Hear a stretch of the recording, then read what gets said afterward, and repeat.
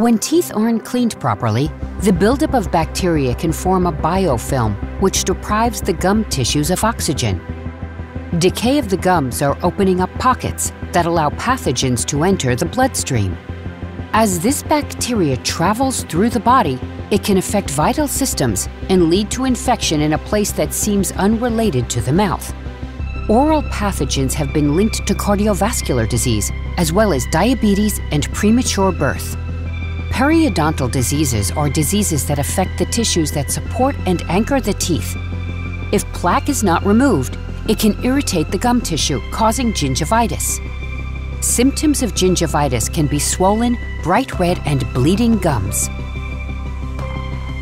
Gingivitis can become periodontitis and result in clinical attachment loss, alveolar bone loss, and periodontal pocketing.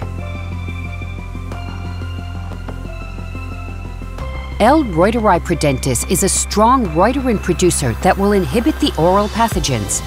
Clinical studies have shown reduction of plaque, gingivitis, as well as periodontitis.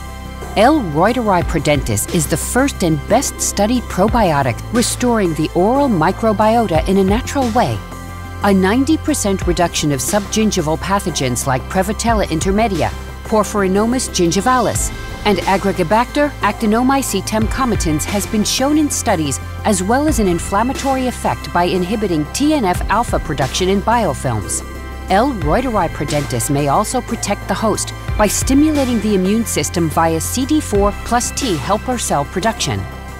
T lymphocytes help coordinate other immune cells and thereby providing the immune response necessary to fight infections.